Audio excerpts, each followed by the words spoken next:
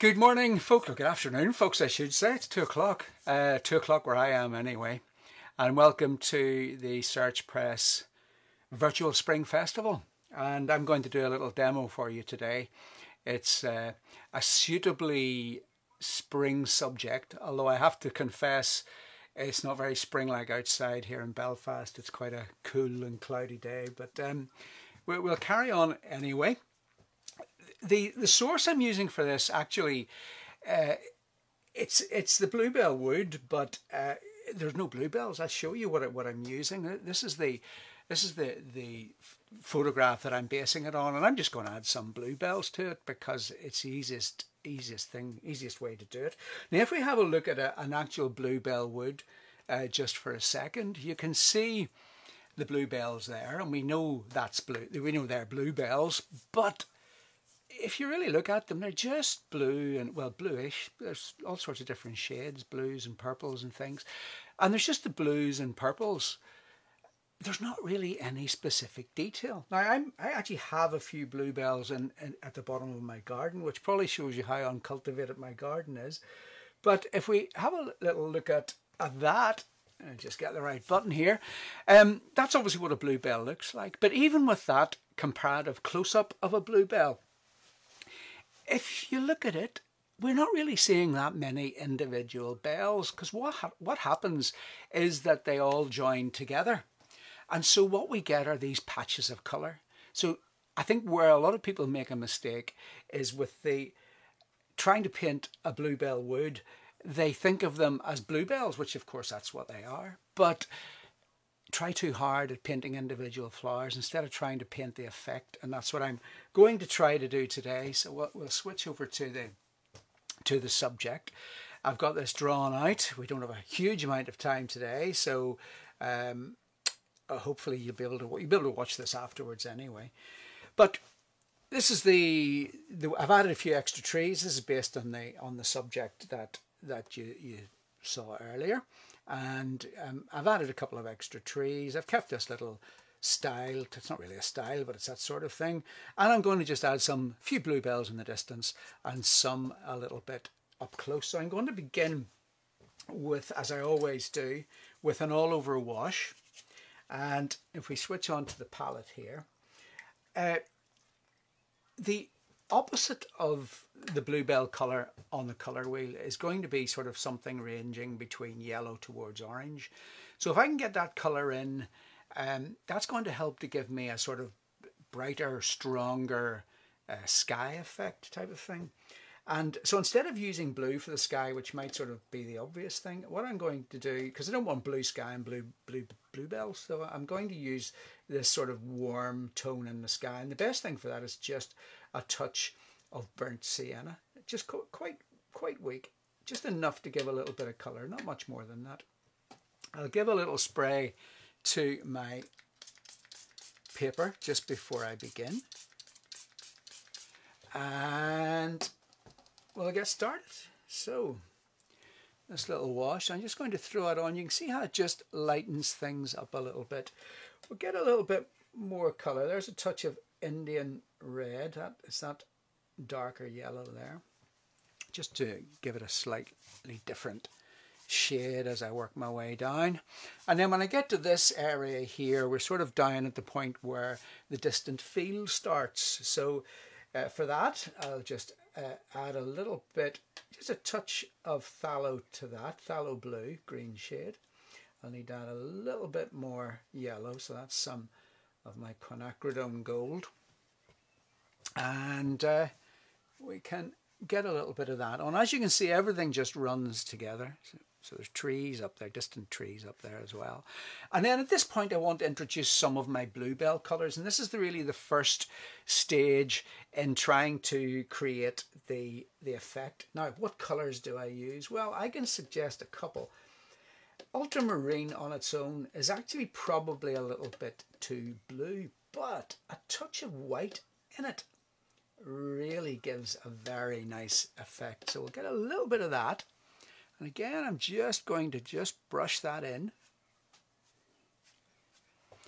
And then I'm going to change that slightly with a little bit of quinacridone magenta So that will give us the, the uh, slightly more purple shade that you will often see as well. We'll drop that into, so these will just all, basically just all run together. And we'll maybe get some brighter colour in too, so perhaps some stronger ultramarine. There we go.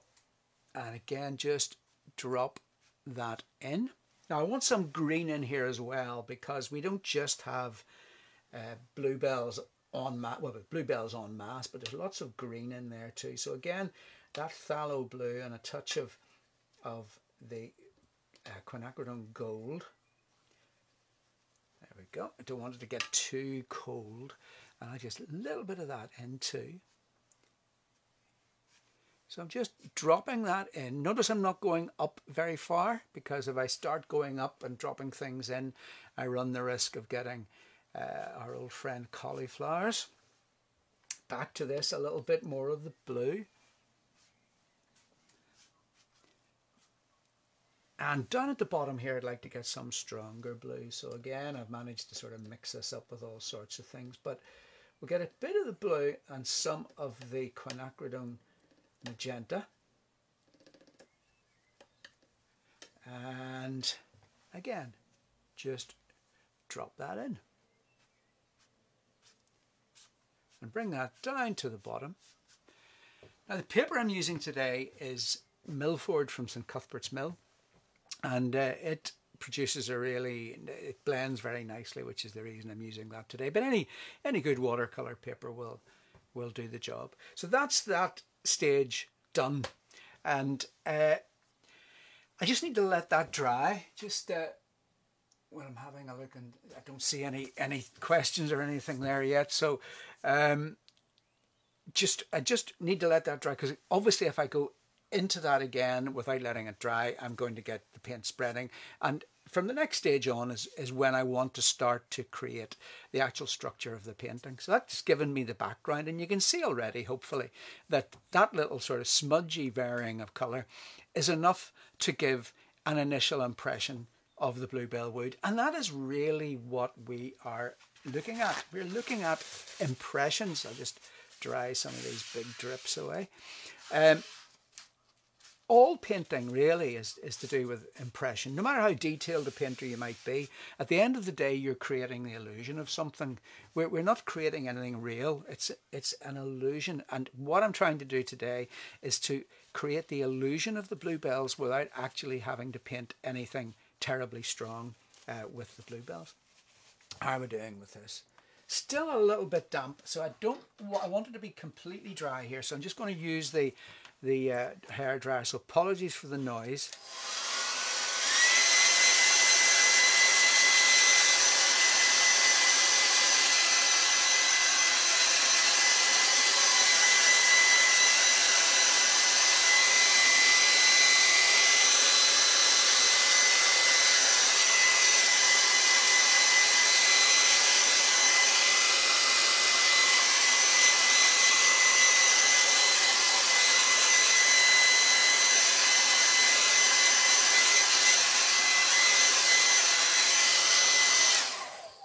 Think the sky part and this area up here is quite dry now. It's still a little bit damp, but I don't want to uh, keep that noise on for too long.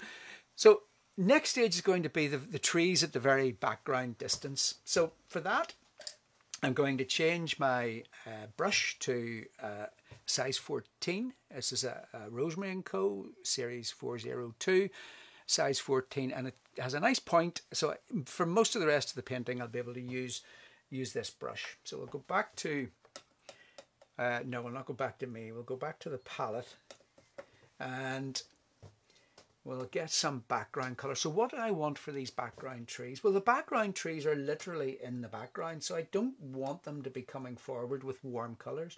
So I'm going to use a, a greenish brownish color based on cobalt blue. So a little bit of quinacridone gold in that and that gives me quite a cool green. It should work quite well for background. So let's just uh, let's just see.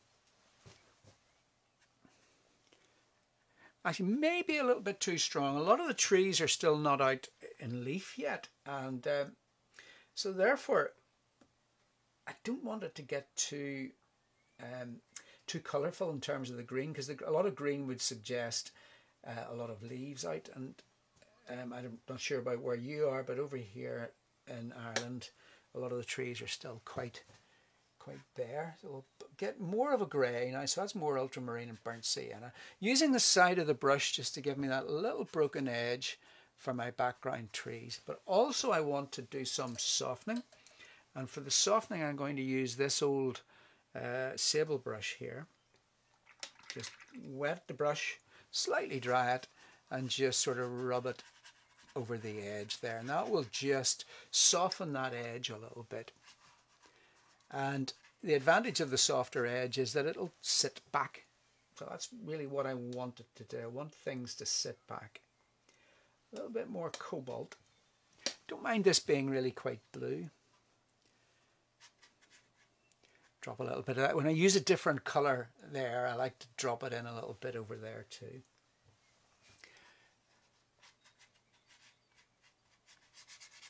Notice I'm not, these are trees, but if you notice I'm not actually painting any trees. These are all just little marks. I'm just dipping into different colours that I have in my palette.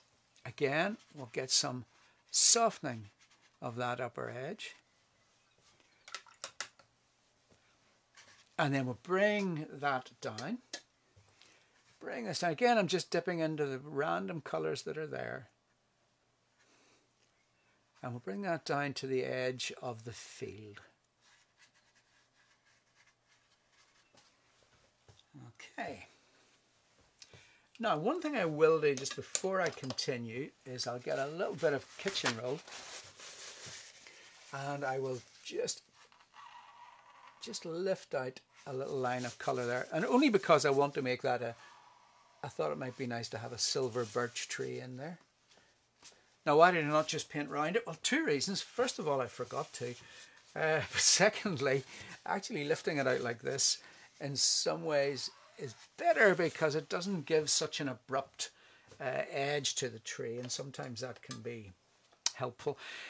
Very often it's it's uh, a hard hard edge is something that's not necessarily desirable, particularly in the early stages of a painting.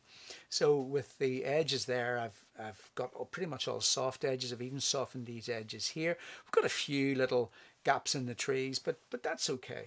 And I've kept these, as I say, quite a, a cool colour. Now what I want to do is just go over that and just make sure I've got that reasonably smooth because that's the difference between our distant trees and our field. And so therefore I want that to be relatively, well in fact I want it to be hard edge, but anytime I say I want something to be a hard edge, what I really mean is I want it to be a hard edge mostly. So what I'm going to do here is again, just with my softening brush, keeping rinsing it, just going up to the edge and just letting that edge slightly blend with the field going to be trees there. Now that little bit there, I want to keep that pretty hard because I do want to show that there is an edge there. And I think that's a good balance between soft edges here and harder edges here. So I, I quite happy with that. That works. That works okay. Further down the field then, I want to keep that nice tonal counter change. So that's dark, that's light. So I'm going to keep that light. You'll, you'll see on the, on the uh, subject that I'm basing this on. It is quite light in the distant part of the field, but then it gets rapidly quite dark again. So I can get that effect quite easily just by rinsing my brush and just wetting the top part of the field. And then if I go in with a, with a, a green, into that wet area. So I'm not going into the top of the wet area, I'm going into the bottom of the wet area. So that means it gives the green a chance to sort of go up the wet part. Whereas if I put the green in at the top of the wet area, it, the green would have nowhere to go. So I'd simply get a hard edge there. But if I go along the bottom of that damp part, you can see how you get that nice soft blend of green to the original wash from the from the first wash and then I want to get some bluebell colour in there. I don't want to overdo the bluebells, but but we'll get a little bit a little bit of bluebell colour in there. So again, the ultramarine and the quinacridone magenta. And, and I'm just going to drop that in. I want this to sort of look like, hopefully look like little sort of drifts of, of bluebells.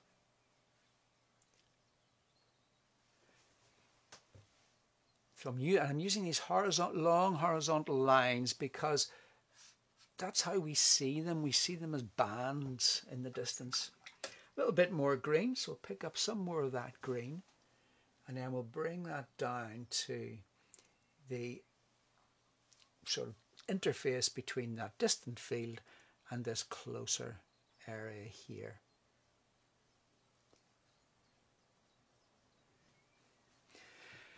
Okay, so that brings us down then to our foreground essentially.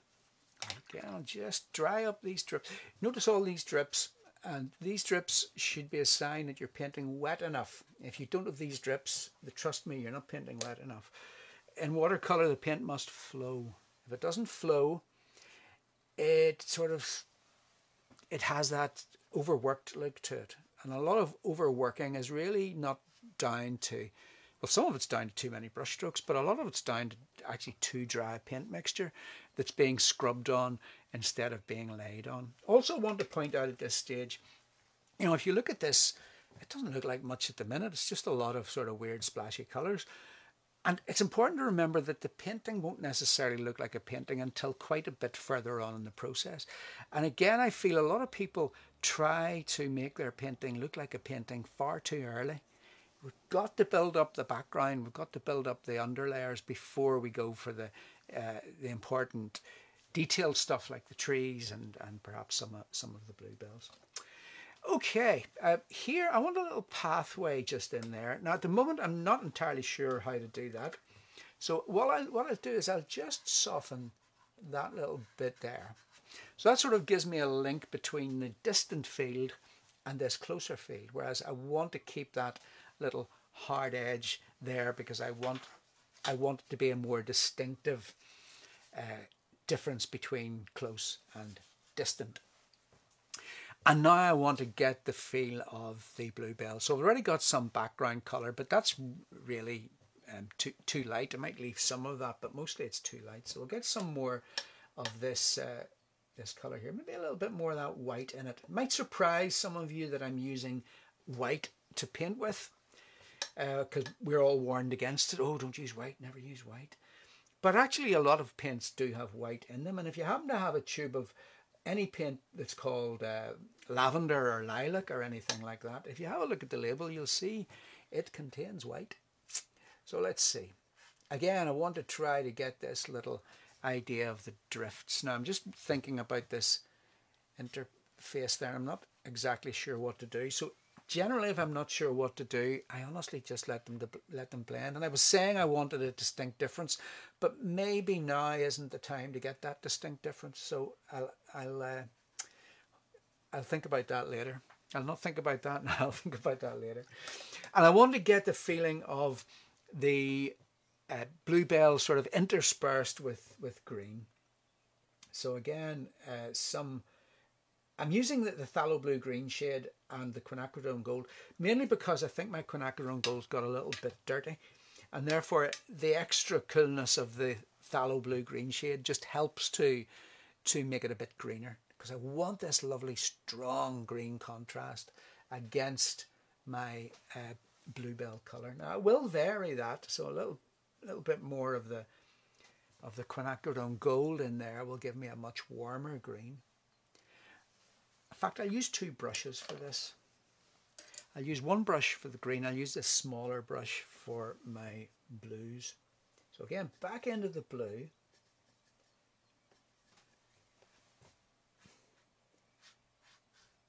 Letting this all run. So I'm really doing the same thing as I did first time round, but I'm leaving a few gaps here and there because I don't want to lose all that nice light that I created on that first wash.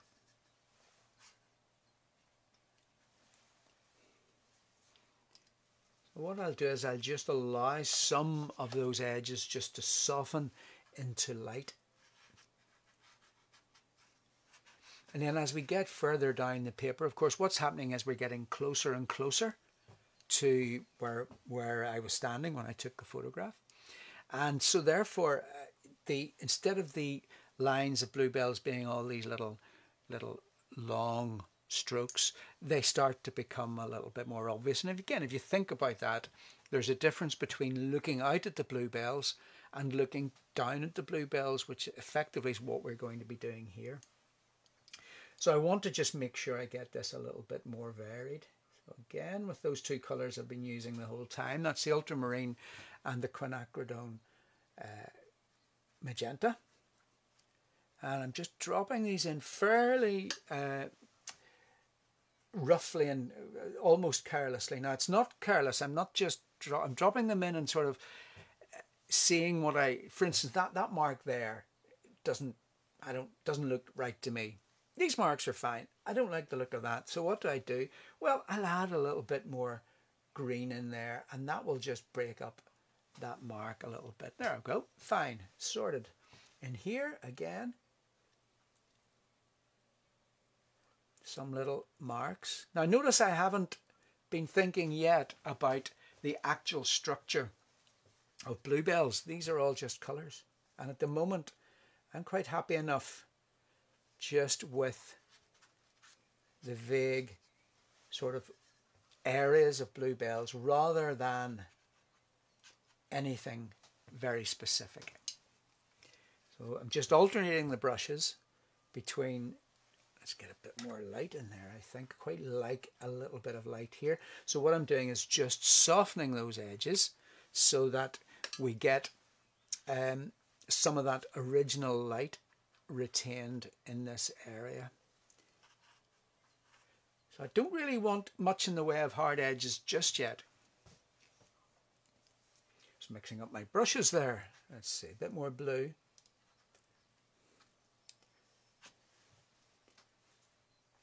Perhaps a little more of the two colours again.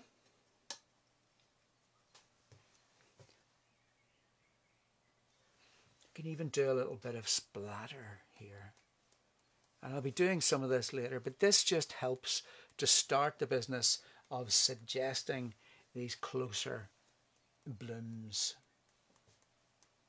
And it's quite good fun as well. So we'll get some some uh, blue splatter and then what I'll do with my greens, so go back, just pick up again some more of that green and sort of get some little streaks like this because the bluebells of course have got these uh, spear, spear shaped leaves. Again, don't want to do too much. It's so easy to overdo this.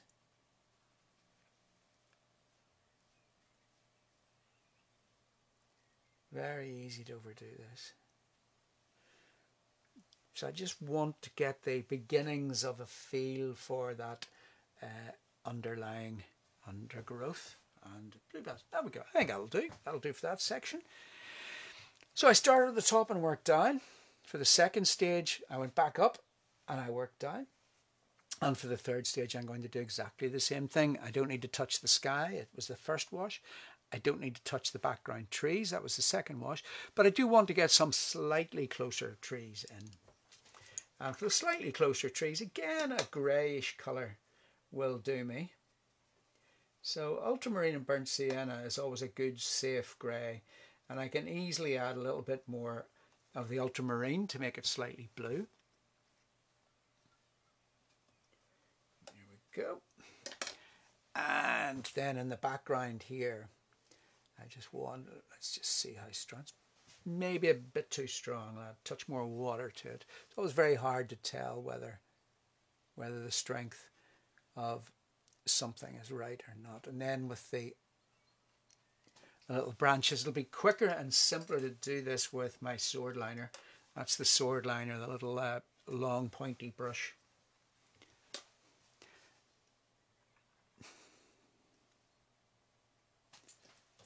Maybe see this a little bit better if I use a use a different camera.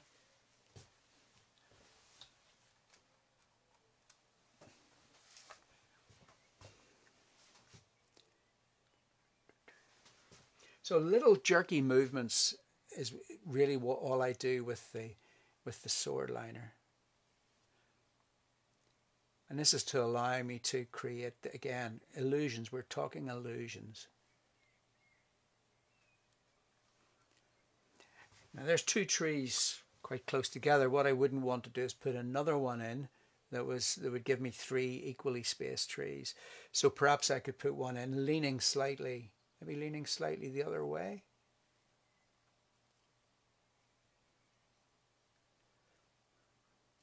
And again, lots of little side, well, I say lots of little side branches. Actually, you don't want to do anywhere near the amount of branches that the tree would actually have. It would look far, far too cluttered if we did everything.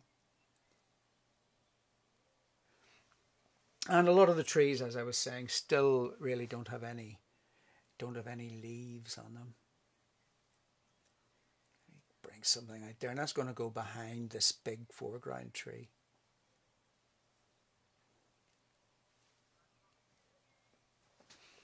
So just little simple marks.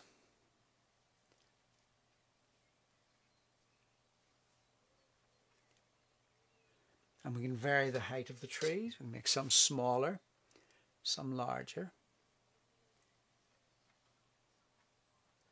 Lower branches are always useful because the lower branches can give us a lot of connections. Just dry that up to stop it causing any mischief. And remember, branches go, depending on the tree, branches go in all sorts of different directions. They don't just go out, and they go up and they go down.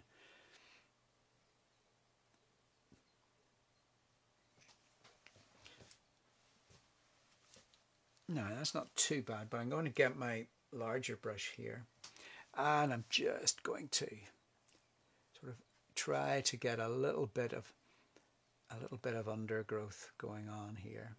And this will give me back, I was saying about losing my edge, so I can get the edge back with that between the uh, foreground and the and the middle distance.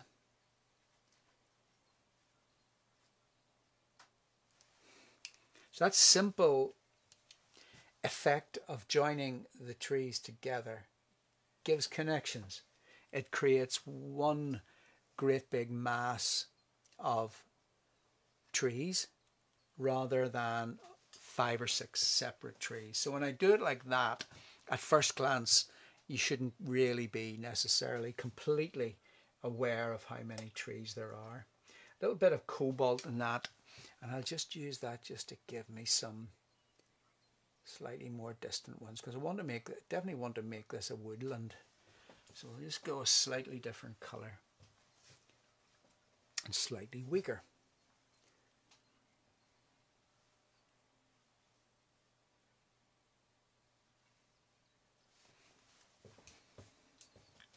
Now this section here I'm going to leave that quite blank but we'll get a couple more trees just maybe coming over from the over from the left. And you can see how quick I can do these trees with that sword liner brush it really is a, a very useful brush and don't be afraid to allow let the trees cross over that's important in creating creating the linkages mm, let's see what another one there maybe Do, do, do. It's not too bad. A little bit more then of the same color on my larger brush. And again, we'll bring this down to create the lower edge.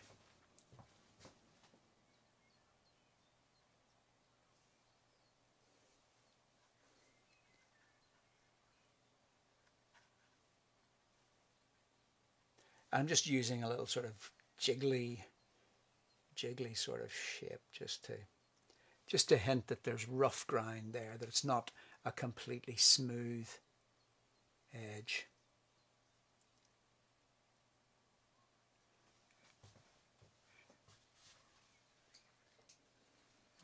All right.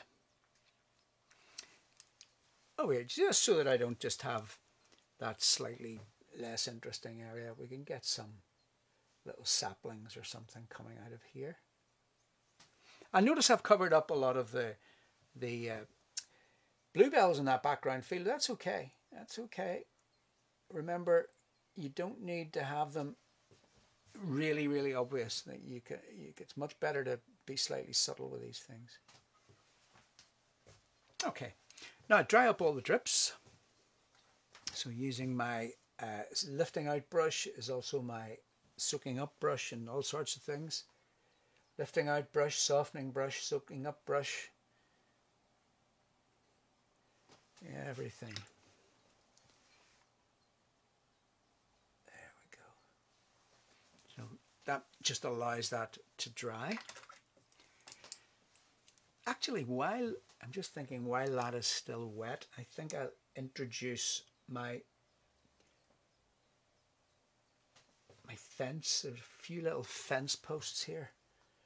So, and the reason I want to do this while this is still wet is because where it, where the fences meet this vegetation, obviously what will happen is it will go slightly soft, which is sort of what I want because then the fence will disappear into the vegetation.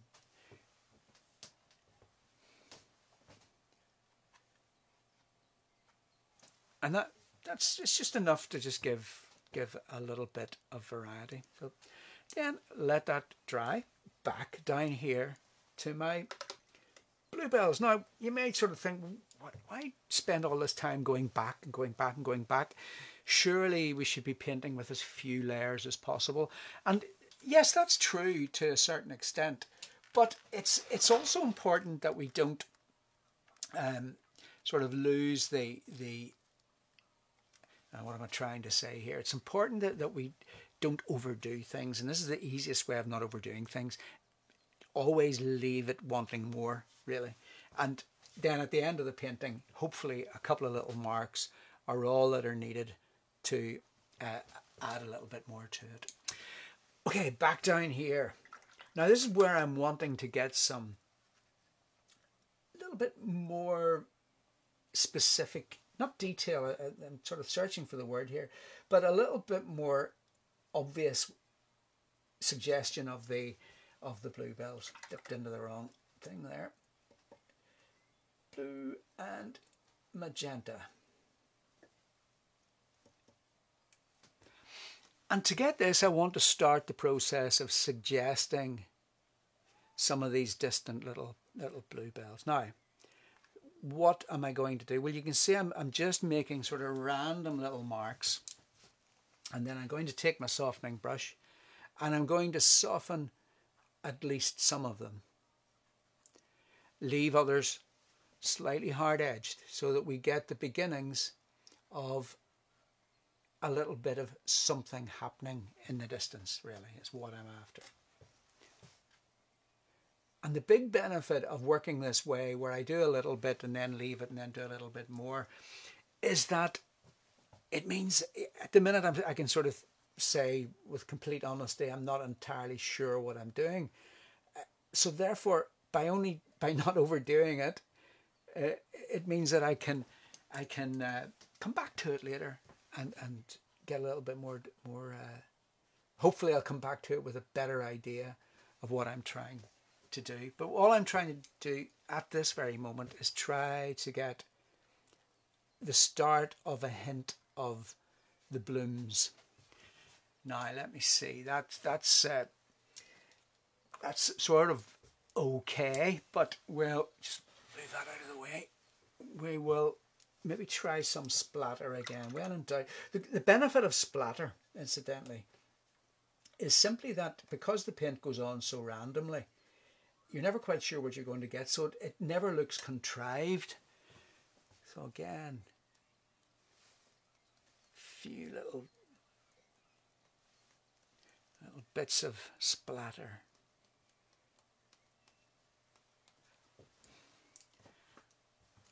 Something like that. Not entirely sure whether that's completely successful, but we don't need to worry too much and a little bit more of our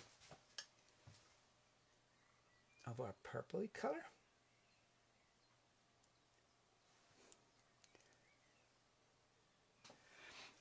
And then we'll change that colour a little bit. So perhaps um, a, a, little bit more of the magenta in it. That looks quite magenta, but uh, trust me, I was studying them carefully this morning.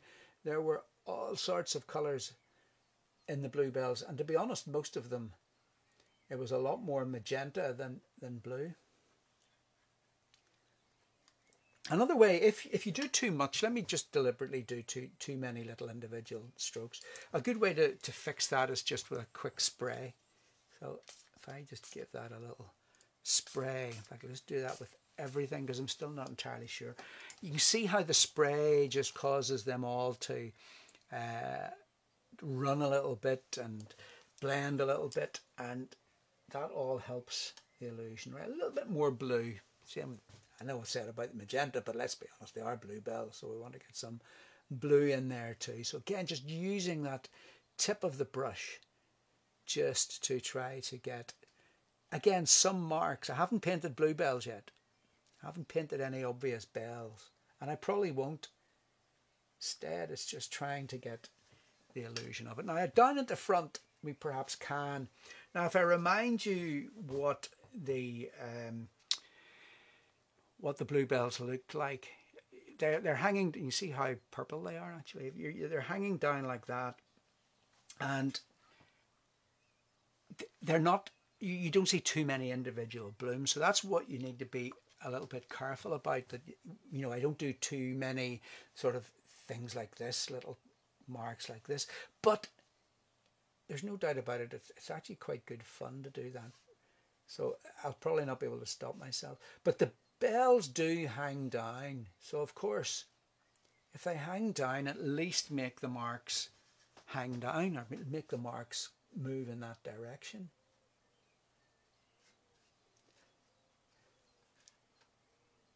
I'm possibly starting in with this much too early, but it, but I've sort of we'll call it a little treat because with all the um, with all these vague marks, eventually there is a, a, desire to get something a little bit more definite. But again, nothing too much. In fact, I'll leave that.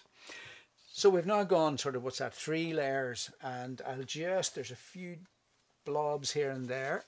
And I'll dry that quickly with the dryer. And next stage will be the bigger, closer trees.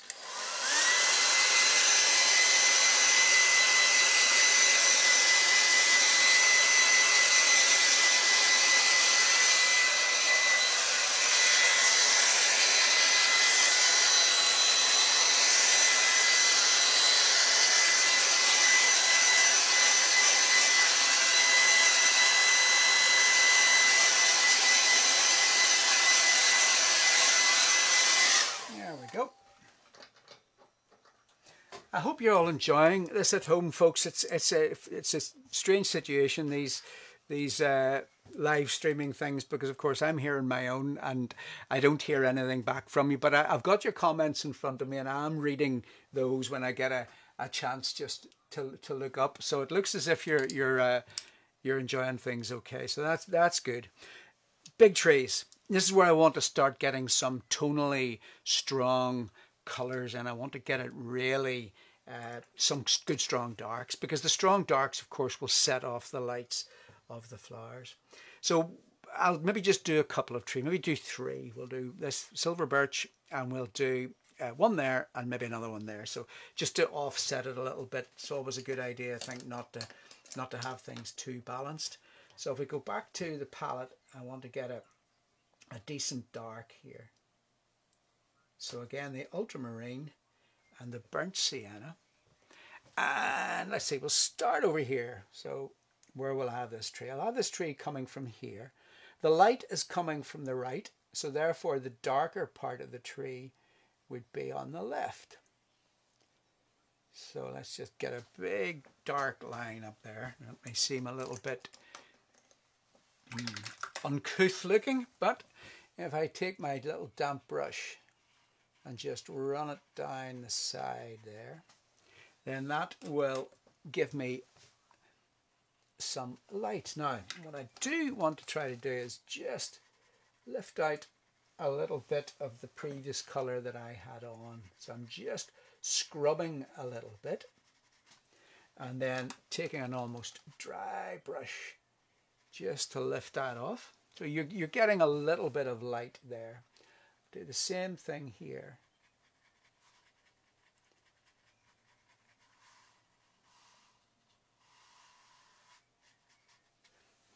Now, with that same mix, I just want to bring that across, oh, still a little bit damp to do that with. Okay, we'll leave that for a moment or two. I'll pick up the sword liner again, same mix, and we'll start to create some of the bigger branches. So I can just be a little bit bolder with the sword liner now because I'm not producing little fine branches. I'm wanting to produce something with a little bit more substance. Over here, again, branches from the side are going to be separated from that dark area a little bit. Bring that right across so that we get the trees, the trees from both sides will link together.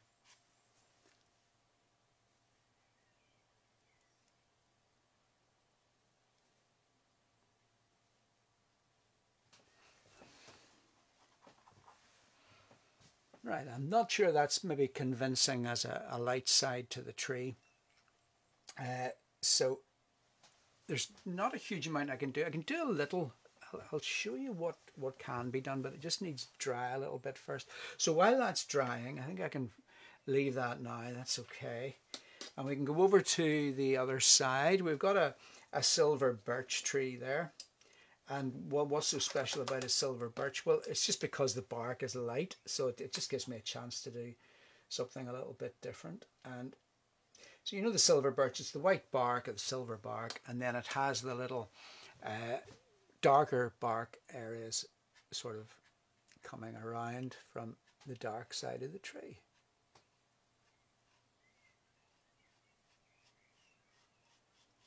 So I'll just work my way up there.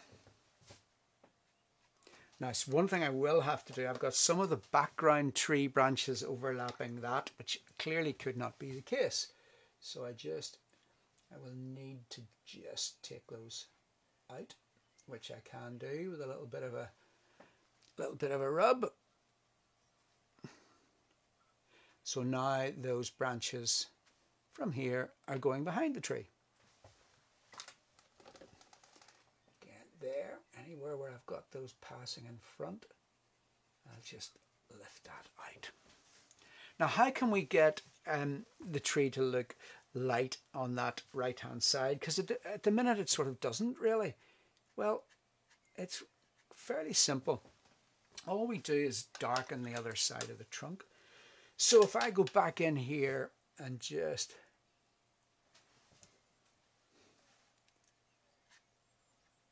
darken that slightly, you can see how the how the uh, lightness of that bark then suddenly appears. So what, what can this be? Well, this can just be some more some more undergrowth.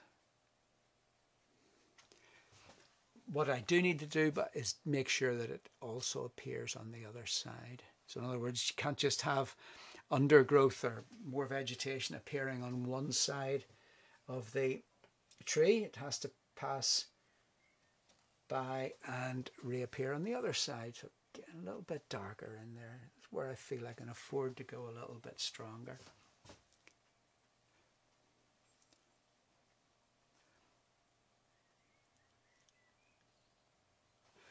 And then we'll sort of disguise that as some sort of uh, shrubby, shrubby vegetation. And of course in the silver birch, we'll get some branches coming out the side of it.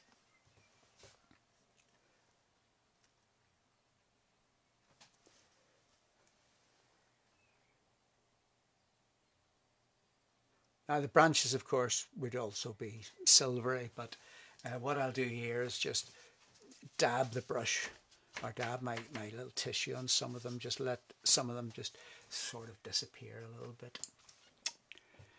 Uh, right, another tree. I'm just going to do a very simple one because time's running out a little bit. So we'll just do a little sort of spindly tree just up the middle of those two.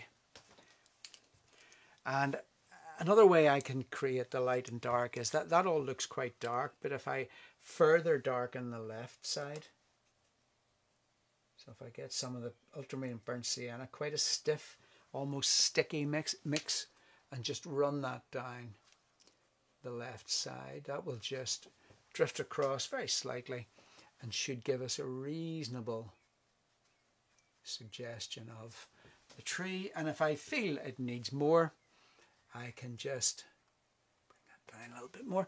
I can just lighten up the right hand side. So just run my brush just down there and just lighten that up a little bit. But again, I run into the difficulty of having to lift a little bit of light out from the background greens, which isn't difficult to do.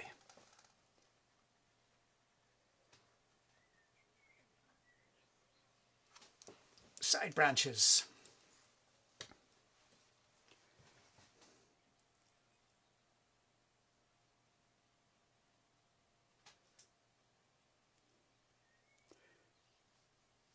Again with the side, I, I don't really, I mean, I'm calling that a silver birch, but to be perfectly honest, it just is a tree that happens to have a light bark instead of a dark bark. And these other ones are just trees. uh, if you start going down the route of trying to be specific about the type of tree it is, first of all, you have to ask yourself, is that really important? Well, if it's important to you, then yes, it's important, but it's not important from the terms of the painting.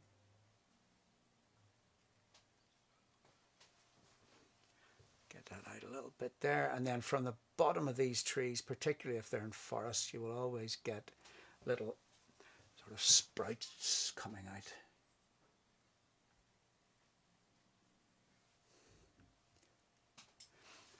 on the side of that of my uh, silver birch I'm just going to use an even smaller brush this is a size 4 and plenty of paint very little water which is the opposite to what I was doing earlier when I was using plenty of paint and plenty of water. Get that a little bit browner. So it's really sticky. That's sticky enough that I can paint my, my palette with it.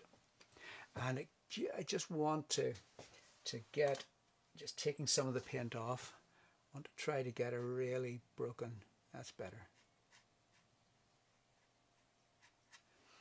Really sort of broken edge there.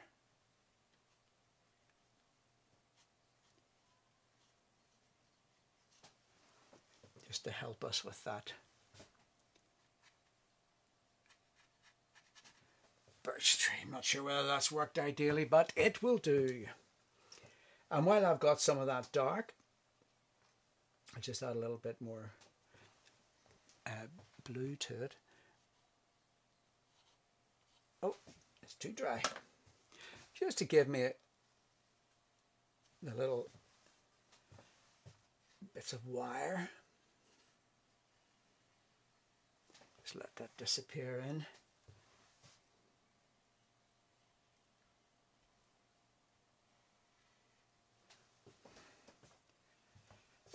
Go.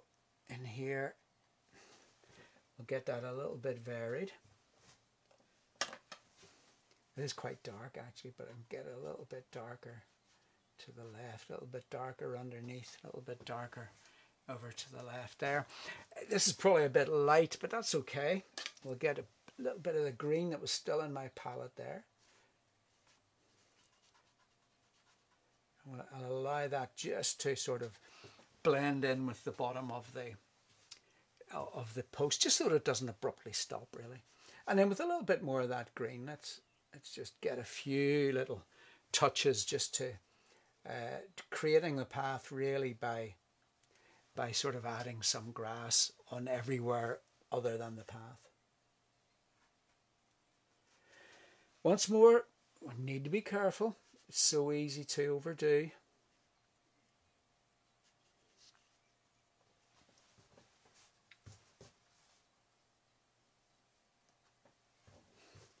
And what I'll do is I'll try to, uh, I, probably another five minutes will do this. So I'll give, give us a couple of minutes just if anybody has any questions, if you want to put them in the comments. And when we're done with this, I will uh, have a little look and see if anyone needs any further information on anything. Now obviously when I'm putting this green and I'm trying to avoid my my purples and blues to a large extent because obviously uh, the more I cover my purples and blues the, the, more I lose the the, the bluebells which is really the, the subject so I, if you notice what I'm doing here is going in with my greens in places where it's already green or I'm overlapping the blue slightly but not very much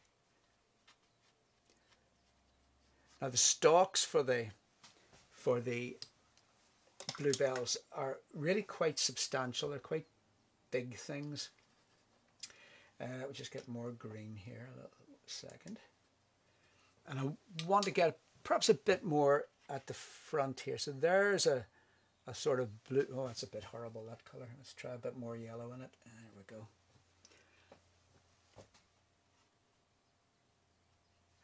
So anywhere where I'm sort of where I've got a little suggestion of the of the sort of bluebell shape, there's another one there.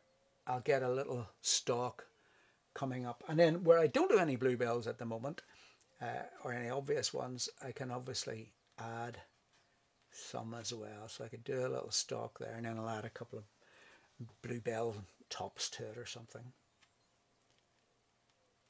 let that break up too because we don't want breaking things up is so useful because if we just do the you never see the full stalk because there's going to be another stalk crossing over or something you you will never see when you look at a whole lot of anything you will never see any individual really in its entirety or certainly it's pretty unlikely so when I'm doing these leaves and these stalks I'm, I'm allowing them to break up so that we're, we don't have too many. Uh, in other words, what I don't want is is you know too much of this. You know, if I do that, that's far far too obvious. So what I'm trying to do is that, but not make it not make it so obvious. That's probably all right. Let's see a little bit more then of my bluebell color. So same mix, the uh, ultramarine and the magenta. And where I've got a few of these, I'll just sort of put a little put a little hat on them as such.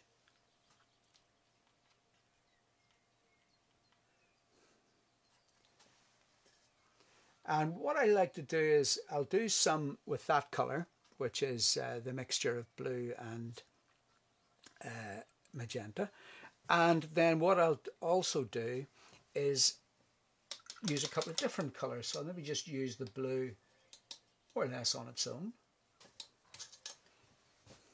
And just intersperse some of the purples with the blues because you will very often find that even on the same flower you get you get lots of colour.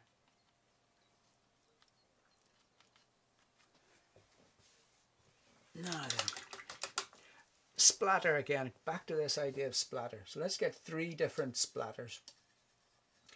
We'll get a sort of bluish one. Brush is a little bit small for that. I'll move up to the size 7.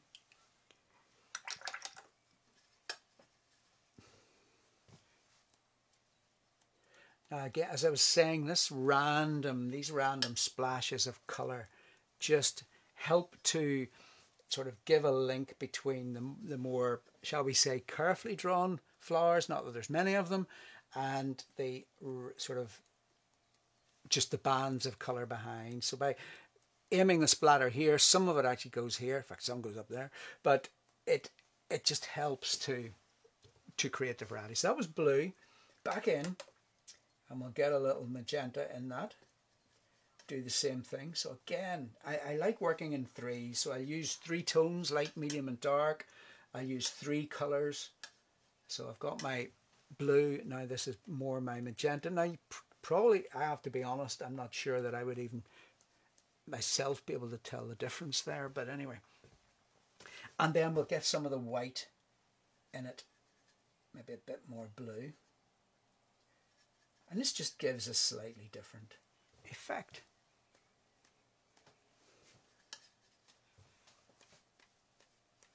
And of course the white can go, or with the white in it, it becomes slightly opaque.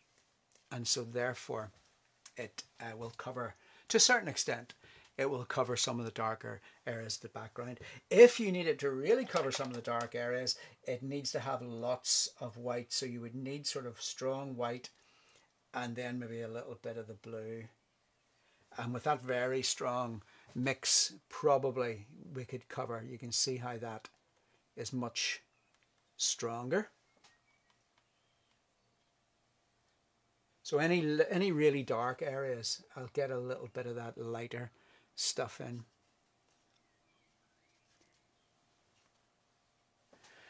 And that's us nearly done. Just one last little bit of warmth. I just want to get a little bit of warmth in it. So I'll, I'll, I'll uh, clean out one section of my palette here just so you can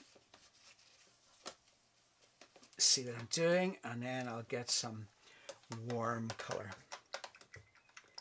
so a little bit of the burnt sienna and the Indian yellow and I can dilute that quite a lot and I just want this just to give me a little touch of warmth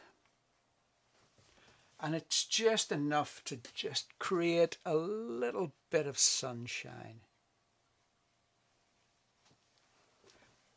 And with that colour, we'll just get a little bit more on it here. Again, just a little bit of light for some sunshine. And then we'll get some shadow as well. So I'll just make that slightly, slightly purpley. I'm just using sort of whatever's here really and we'll just bring that across. Again, try uneven because the shadow's being cast over uneven ground and then it would be slightly smoother ground and then it would be uneven again. There's not a great deal of shadow really, but um, the shadows sometimes can help. So a little bit of darker shadow in there just. And I think that's pretty much as much as we need to do. As you know, you can always keep going. And that very often is a problem. It's so easy to keep going in a painting when really we should be stopping and thinking at least. So I've haven't had a lot of time to think there really. But um, the overall effect, I think, if you ask someone to guess what that was, I would like to hope that they would say it was a bluebell wood. And there we go. Now, I'll have, I'll have to move away slightly so that I can read the comments see if there's any questions.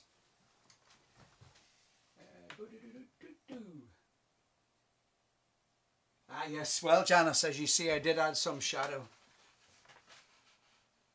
Although I have to be honest, I nearly forgot to. uh,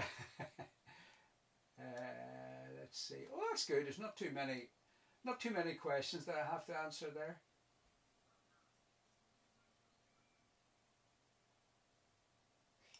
Excellent. Well, um, yeah, the thing about a couple of people have asked about the amount of detail, and that's always a tricky thing. Just how much detail do we put in?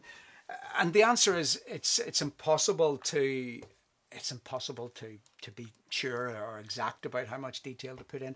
I don't like putting in too much detail. I like this idea of illusion and creating the the uh, suggestion of something rather than, than being terribly precise. That's just me. It doesn't mean if you like doing a lot of detail, that doesn't mean that you're wrong in doing that. It just means that we're all different and we're all different painters. So you should always do what what you like to do. But anyway, that's the, the, the, the end of the painting. That's the final painting. Uh, I hope you enjoyed uh, this little demo. Uh, if you I'm sure Monica's already mentioned it, but I've got three books with Search Press uh, one on street scenes, one on watercolor landscapes, and one on snow scenes, which probably is be probably best to wait for next year for that one. But all three are available, and I'm sure you you'll know that I've, my website's got lots of stuff to to look at, and uh, my YouTube channel and things like that. So um, I hope you've enjoyed this and it's been lovely to have you with me. Thank you all for taking the time to join me because it's it's time out of your weekend, so I do appreciate it a lot. Thank you very much and enjoy your painting.